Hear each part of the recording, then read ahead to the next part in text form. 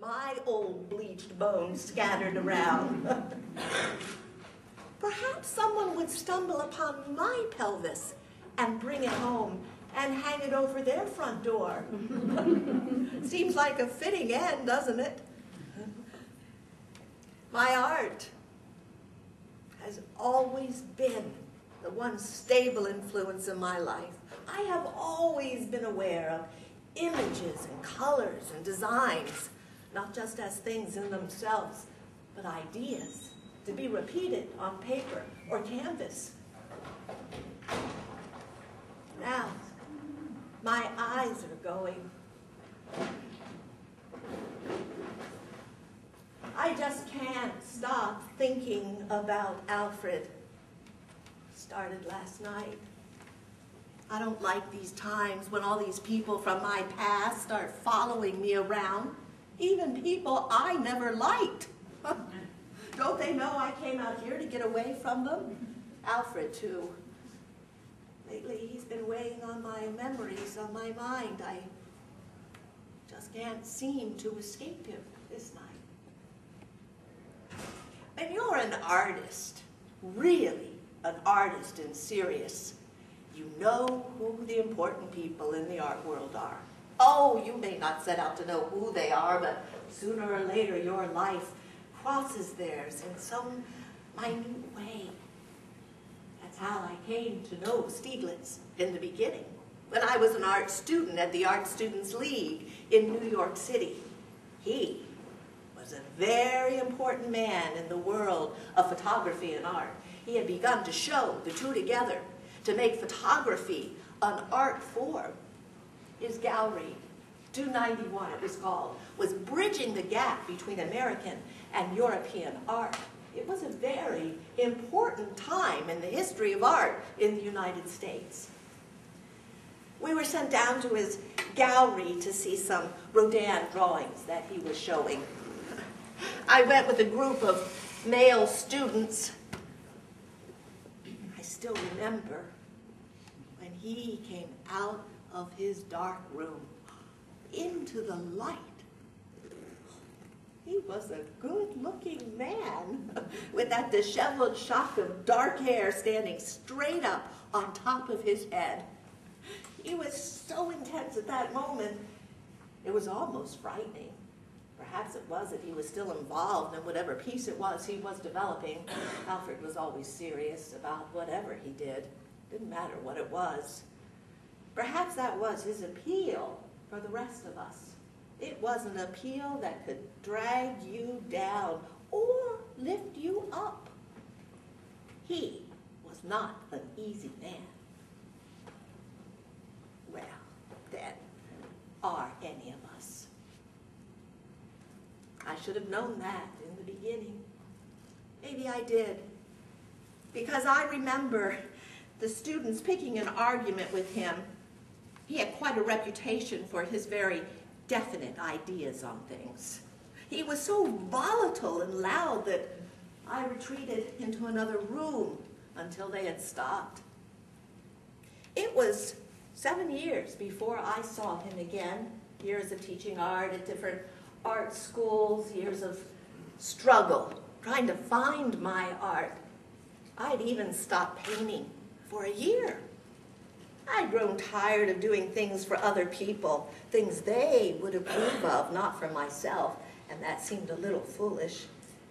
It was the best thing I could have done, because when I began again, it was as if my mind were creating images I wasn't even aware of, and I put them down on paper and I sent them to my friend Anita. I asked her to look them over, tell me if I was crazy or not. Well, she did more than that. She liked the drawings, and she thought Stieglitz would too. So she marched down to 291, and she gave them to him. He liked them all right, enough to hang them in his gallery without my permission.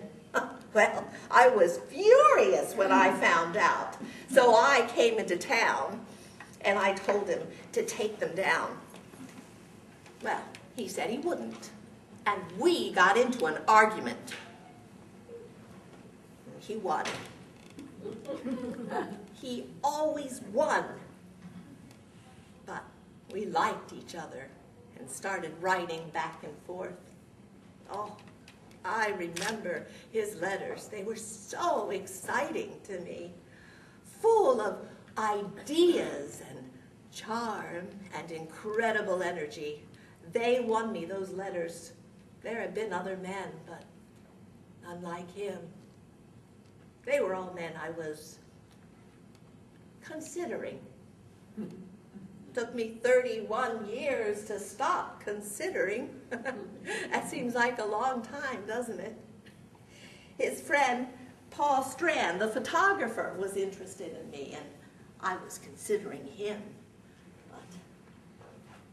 Stieglitz won out. I fell so in love with him.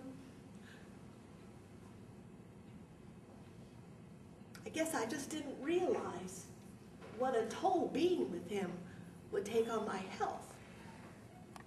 You don't care about those things when you're young, do you? Alfred was immovable and stuck in his ways. Well, after all, he was 54 when we moved in together, and I was 31, nearly 23 years difference, and then didn't seem like a day. Oh, he was charming and had a youthfulness and impishness that never left him. When he was an old man in his 80s, he was still asking young women about their sex lives because he was still interested. Even in 1946, that last time I saw him before I left on my yearly visit out here, the year he died, his hair was pure white and still disheveled. His body a little stooped under his black cloak that he liked to wear, so very dramatic. He held me close, very close to him. That leading moment of desperation in his hug. Just for a moment, and then it was gone. And then I was gone. And by the end of the summer, he was gone. You see, I could not have stayed in New York and not gone to New Mexico that summer. If I had, he would have won again. Survival had become so important to me. And the months that I spent here made it possible for me to be strong enough to be with him the rest of the year. It's strange, the things we pick to survive. So, there I was, going off into a life with an older man who was still married. Even though they had been estranged for many years, there was still a wife and a daughter. It was five or six years before the divorce became final. I don't remember exactly.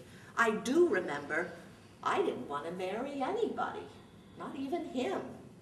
Well, the next 15 years of my life were devoted to Alfred, my art, to New York City in the winter, and the house in upper New York at Lake George in the summer.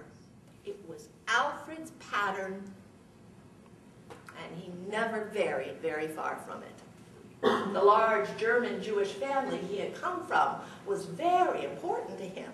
So in the summer, everyone left the city for Lake George. The house was large, and Ma ran things. All the brothers and sisters and children, and over the years, children of the children were there. Can you imagine 20 people all eating corn at the same time? I never got used to it. There was no place for me there. Oh, they were nice to me, and I came to accept them over time. I just never liked large groups of people. Didn't then, and don't now. I guess that explains why I'm here, doesn't it? Me not liking groups of people, and Stieglitz and his need for them. Always a lot of people around. And we always lived in small places. For a while, we lived in Lee Stieglitz's house. That was Alfred's brother.